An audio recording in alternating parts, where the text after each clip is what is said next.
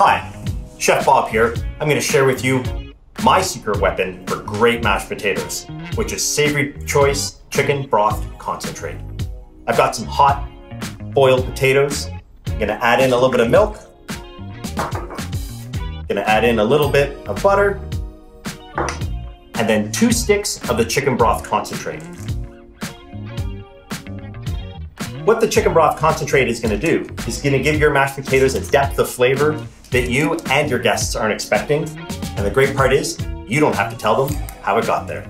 Gonna mash everything up. Just that easy. I hope you enjoyed.